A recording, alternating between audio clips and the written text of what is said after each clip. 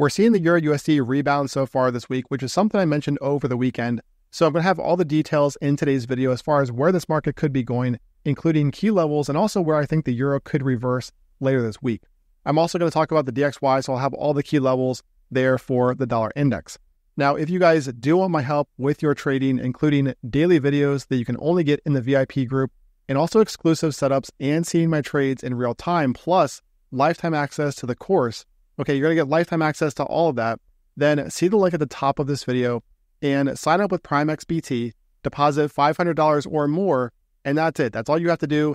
Let me know, and I will give you lifetime access to the trading group and also the course. So, alternatively, see the link in the description of this video, or if you're on the website, click on that link just below this video. Okay, so looking at the Euro USD, if you guys have been around here for the last few weeks, then you are well aware that we have the euro coiling here between these two levels going all the way back here to 2023. So this is the weekly time frame. And what you can see is that ever since the start of 2023, really uh, early 2023 to late 2023, that's when this pattern formed and we've seen nothing but more coiling here for the euro. So I do think that, like I've said recently, I do think that we are likely to see uh, some very explosive moves from the euro, the pound, etc., over the coming months. But for now, we're really just dealing with a range bound market. So until we do get a breakout from this pattern, I think that the the correct way to play this is just as a range bound market. Now, with that in mind, if we go here to the daily time frame, all right, so this back here from the euro, this back here was a fake out uh, from the euro USD. So this is what we've talked about here over the past couple of weeks. And again, if you guys have followed along, you know all about this here, where we got the market closing above this key level that goes back to 2021. All right, so we got the close above, the market held above it here as support for several days. We then got the close below right here on this candle. We even got a retest of this area as new resistance last week. Now, one thing that I mentioned over the weekend, though, that you had to be careful of was first of all, we had the euro coming into, you know, very close to this November 2022 uh, trend line down here. And so this is why I really don't favor, I didn't favor shorting the euro down here because we were very close to this support area. And furthermore, if you are shorting down here, and we talk about this all the time in VIP, but if you are shorting down here in this area, even where the market is now, you're shorting after an extended move lower if you're going to short a market, you want to be looking for shorts up here in this area, you know, longs down here in this area, shorts up here, etc. You get the idea. Um, but you don't really want to be looking for shorts after the market has made this kind of move. If anything, if you think that this market has, you know, further to go to the downside, then you're looking for a retrace first.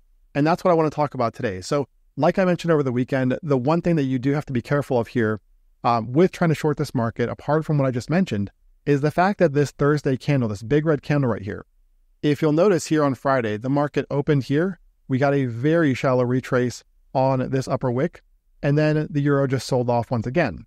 So you have to be really careful trading away from candles like this because this up here right now is an imbalance. What that means is that there is liquidity left on the table up here in this area and markets seek liquidity. Okay, these liquidity areas tend to serve as magnets for a market. So you've got to be careful with that. And that's exactly why I think we're seeing the euro start to rebound uh, from these lows here today. So, what I think we could see over the coming days is potentially a move up here into this Thursday candle. Now, how far it goes, we'll have to wait and see. However, I do think that there's reason to believe that this area through here could become a factor. And the reason for this, and I know that this is a very wide area. However, if you'll notice back here, okay, the Euro USD spent a long time in this area. We had also this area through here, not quite as much, but you know, again, some consolidation through here.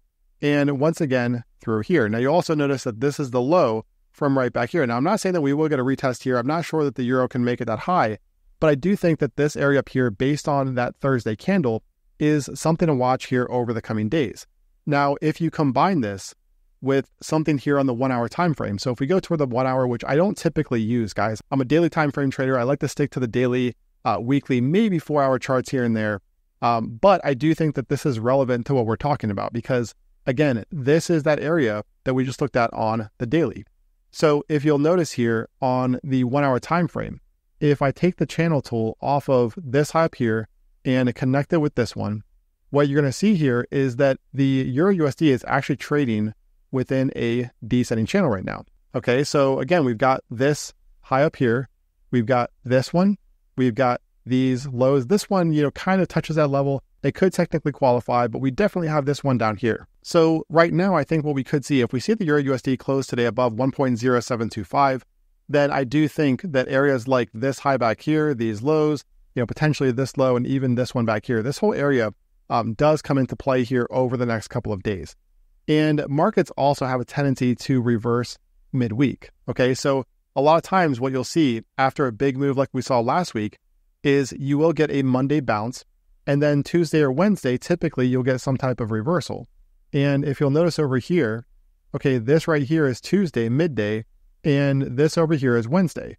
So, really, when we talk about a Tuesday, Wednesday reversal, you're talking about this area right over here.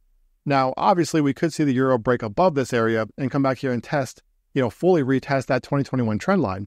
Uh, but I do think that this area, right around 1.077, all the way up toward about 1.08, is going to be the area to watch. All right, now this also makes sense when we look at the DXY um, here, the US dollar index. So this level at 105.6, if you guys have followed me for a while, you know all about this level. So you can see the back here, this was support here uh, for the DXY, right? So support through here, the market closed below, resistance, and resistance once again. So this is another reason why I was saying over the weekend that you had to be careful with dollar longs early this week because we had the DXY testing this key level late last week. So when we talk about uh, these imbalances, you can also see the same thing here for the DXY. So based on Thursday and Friday, there were two imbalances. One based on this green candle, and this is why we're seeing the DXY rotate lower today. And the other one is based on this Thursday candle, which again, we saw a very shallow retracement. So there is an imbalance down here in this area. So this would also, if we see this down here before a bounce, that would also line up with what we just looked at on the Euro USD. Okay, so that does make sense. Uh, which also, you know, there's no coincidence with that because we do know that the Euro USD tends to move inversely to the DXY.